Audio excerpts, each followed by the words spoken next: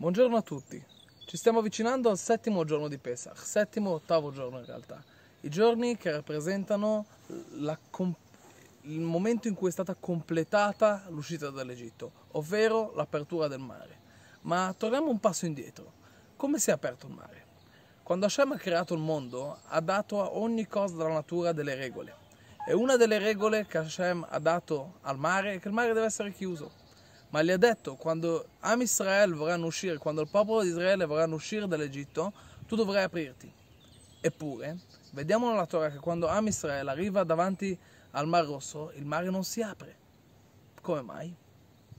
Am Israel si trovavano in una situazione molto molto molto bassa, molto negativa dal punto di vista spirituale. Erano proprio in deficit spirituale, in un deficit molto molto alto tanto da non essere più riconosciuti come figli di Jacob Avinu.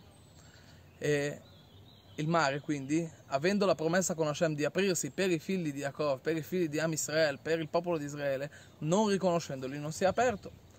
Ma quando ha visto la, il coraggio di Nachshon ben Aminadav, quando ha visto il coraggio de, del primo che si è buttato dentro il mare e ha dimostrato di essere parte di Am Israel, lì il mare si è aperto.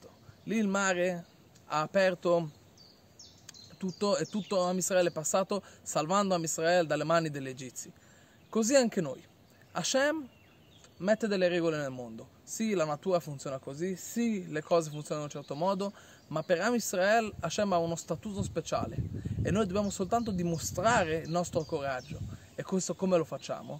Tante volte la mattina ci sentiamo stanchi, tefilin, pesante, perché dobbiamo mettere tefilin?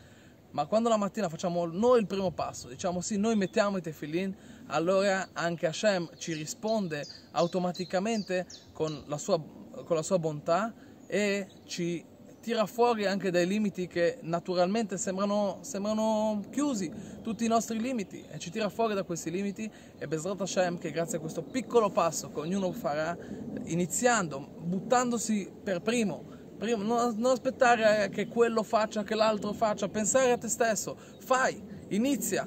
E grazie a questo Hashem ci toglierà dal più grande limite, che è il limite del Galut, e ci porterà alla più grande redenzione, che è la redenzione della Geulah, come Moshiach Tzidkenu, Amen, che Fine di Chag Pesach, Sameach a tutti quanti.